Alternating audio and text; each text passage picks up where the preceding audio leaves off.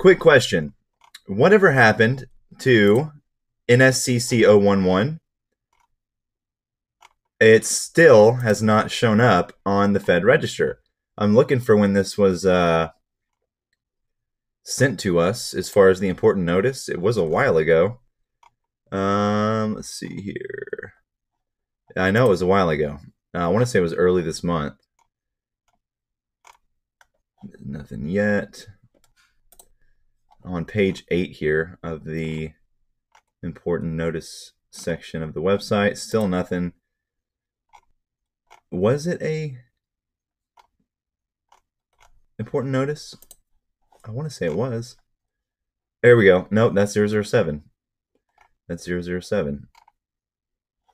We, we know that's going to come out on the 25th. Here we go, right here. So on the 1st of October, we got an important notice for NSCC 011, which I'll link that video as well at the end of this one if you haven't seen it. It declared that uh, October 4th would be the effective date.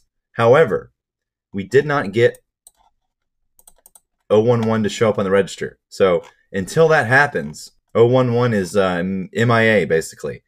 So keep that in mind. Until we see it here, um, underneath the recently published section, it's uh, it's not going to be implemented. So it's just a process has to go through. So I'm going to keep my eyes out every day. 011 is nowhere to be found from NSCC. I wonder why. Um, yeah, but I'll keep you updated, and uh, if I see anything, I'll let you know.